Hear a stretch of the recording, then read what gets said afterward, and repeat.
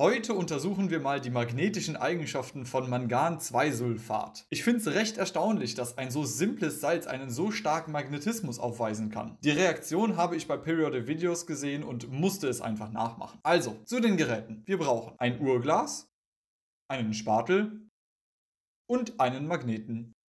Und dementsprechend noch Mangan-2-Sulfat. Sofern das Salz Kristallwasser gebunden hat, lässt sich eine leicht rosa Farbe erkennen. Hierbei würde ich vom Monohydrat ausgehen.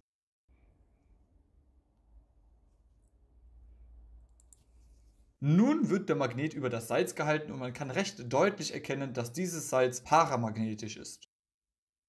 Paramagnetismus ist eine Eigenschaft, die auftritt, wenn ein Teilchen ungepaarte Elektronen hat. Je mehr ungepaarte Elektronen, desto größer ist das permanent magnetische Moment. Und Mangan in der Oxidationsstufe plus 2 hat für ein D-Block-Ion das höchstmögliche magnetische Moment. Abhängig vom Liganden des Komplexes kann es aber auch sein, dass die zwei Elektronen im EG mit zwei der drei T2G-Elektronen gepaart werden. Man spricht in dem Fall von einem Low-Spin-Komplex. Dieses Mangan-2-Ion ist offensichtlich aufgrund des hohen magnetischen Moments in einem Highspin-Komplex gebunden.